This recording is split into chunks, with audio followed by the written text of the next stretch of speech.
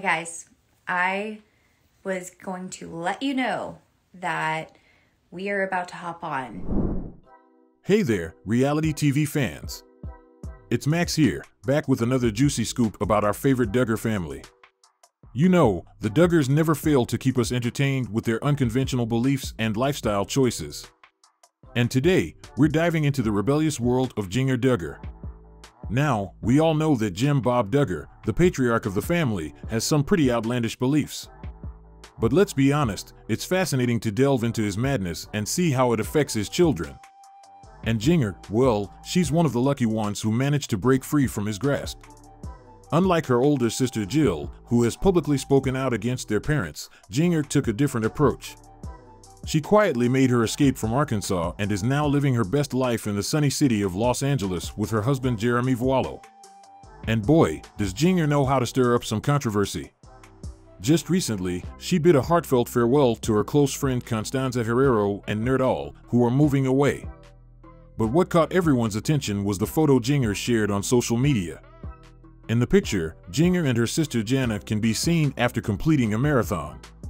Now, this might seem like an innocent moment, but if you look closely, you'll notice something rebellious about their attire. Gasp, they're both wearing shorts. For those of you who are familiar with the Duggar family's strict dress code, you know that wearing pants and shorts is a big no-no for the girls. But it seems like Jinger has thrown caution to the wind and embraced her newfound freedom in the fashion department. And let's not forget about the infamous Duggar rule of side hugs between unmarried adults. While the rule is primarily enforced for men and women, it's safe to say that Jim Bob isn't thrilled about the sight of his daughter hugging someone with an exotic sounding name like Constanza. But you know what? Good for Jinger.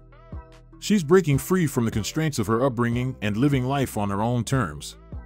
And honestly, it's refreshing to see her embrace her individuality and make her own choices.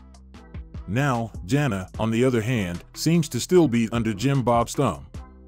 We can see that in the extra inches of fabric she's wearing in the name of modesty. But hey, we can always hope that one day, Jana will find the courage to make her own escape and live life on her own terms just like her sister. So, what do you think about Jinger's rebellious choices?